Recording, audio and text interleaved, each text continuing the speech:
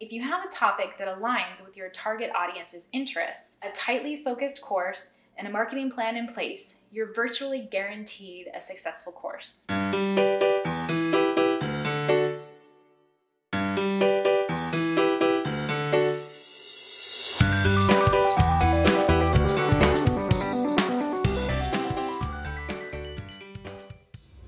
I'm Kelly, your integrated marketing co pilot. I help you navigate your marketing in a way that makes it cohesive while making the maximum impact on your success. Today, I'm going to talk about the three deadly mistakes to avoid when creating your online course or membership. The world of online learning has exploded, and it seems like everyone and their cousin's best friend is selling a course. But it's no wonder, they work. The online education market will reach $350 billion by 2025, according to research and markets. Especially with the COVID pandemic shaking up the way we work and learn, small and medium businesses and large corporations are the biggest consumers of online learning, with education sectors increasing demand exponentially. With that kind of demand, it would be foolish not to take your expertise and package it up in a way that people will pay to consume. Now, I know what you're thinking, but there's already a course on how to become a cat lady.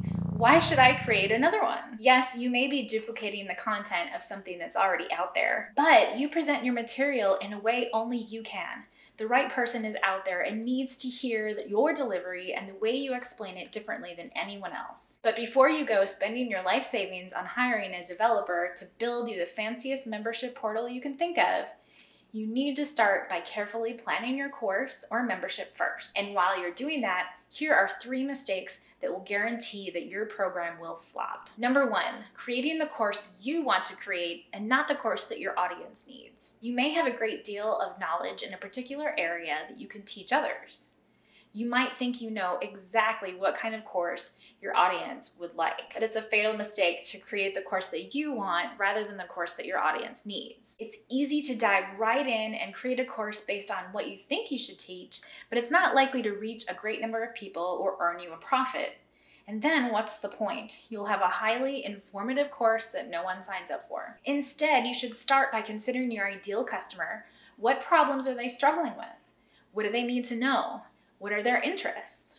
Once you have some ideas, consider how you can help them. Try to match your audience's needs to your skills and expertise. For example, you may find out through surveys that your email subscribers want to know more about using LinkedIn. You can take your knowledge and experience with LinkedIn that teaches them how to create a profile and use it. And don't forget about delivery and experience. When you're surveying, be sure to ask how your audience likes to learn. Do they prefer videos or audio? Do they like short, bite sized clips or longer lectures? Do they need a schedule to follow each lesson one by one, or do they want to access the entire content and pace themselves? These factors will impact sales, but more importantly, they'll impact the number of users who actually complete the course rather than tiring out and stopping partway through. Instead of focusing entirely on sales, focus on student completion rate and retention. Satisfied student referrals will increase your sales. Number two, making your course too long and packing it with too much content. Naturally, you have a great deal of knowledge you want to drop on your course participants. It also makes perfect sense that a longer course is more bang for the buck. A long and thorough course theoretically provides more value to participants. The problem is that if your course is too long, you might overwhelm students. You might lose some of them along the way. The best courses are tightly focused. They teach what they need to teach in order for students to overcome the problems they're struggling with. Your course should be just long enough to do that, and your membership should contain exactly the right elements to assure the success of your students. Don't be tempted to throw in all kinds of bonuses, extra lessons, and guides just because it seems like more materials will add more value. The ideal length for an online course really depends on how complex the content is and how long you expect participants to consume it and do any accompanying homework. Ask yourself how long you expect them to take to learn what you're teaching. Let's say it's six weeks. Then break down your content into six sections of equal length each section taking one week. Don't give more than someone can do in one week's time or however long you'll give them for each section. That might mean breaking some topics into parts one and two if each part will take more than the allotted period to complete. Each topic you could really call these modules, should have three to five steps or small sections.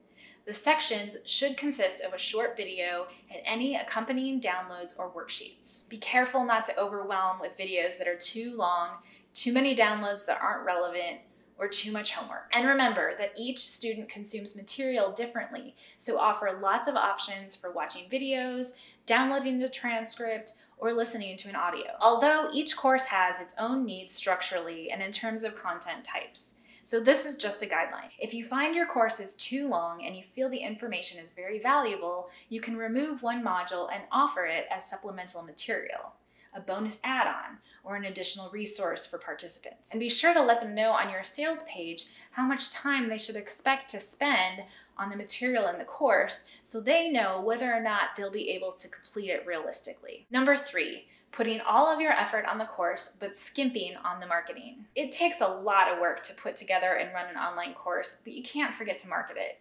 It's easy to get consumed with creating the course so that you don't spend enough time creating a marketing plan. However, it's arguable that the marketing plan is more important than making the content just perfect the first time you offer the course. You can always edit the material as you go because students won't be able to consume all of it at once. But before you even get started, make sure you have a solid marketing plan. What is the transformation that you'll take them on from point A to point B? How will you adequately convey that transformation to them? And how will you get your course in front of your target audience? How will you advertise it and get the word out? Which marketing channels will you use and how will you use them? If you have a topic that aligns with your target audience's interests, a tightly focused course, and a marketing plan in place, you're virtually guaranteed a successful course. But there are several places your marketing can fall apart.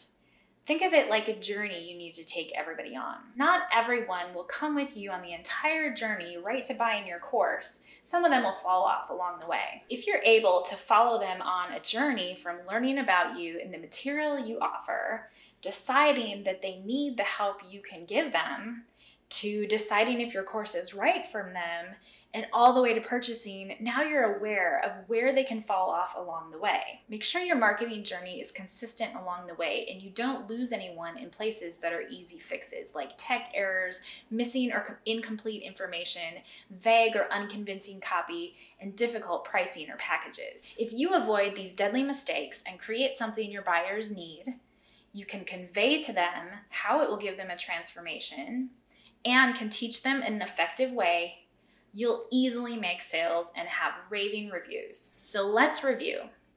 Don't make a course that you think you would like to take and forget to find out what will really benefit your customers. Number two, don't load the course with so much content that it's overwhelming and no one finishes. And number three, don't spend all of your time creating the course and then skimp on the marketing. Thanks for watching. Don't forget to comment, like, and subscribe for more videos.